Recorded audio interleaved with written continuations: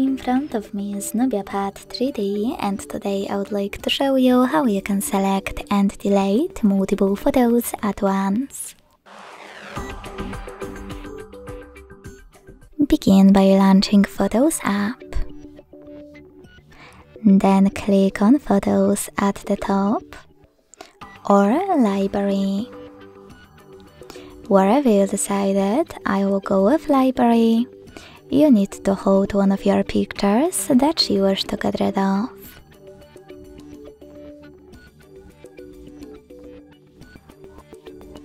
Then to select multiple right away, use those type of dots at the top left corners.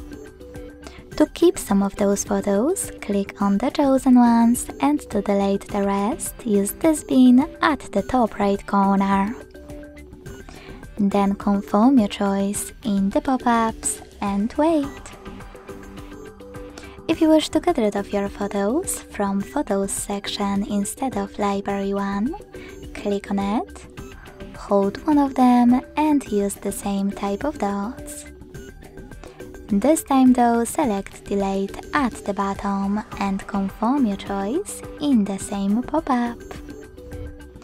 Thanks so much for watching. If you enjoyed this video, leave a like, comment and subscribe. Bye!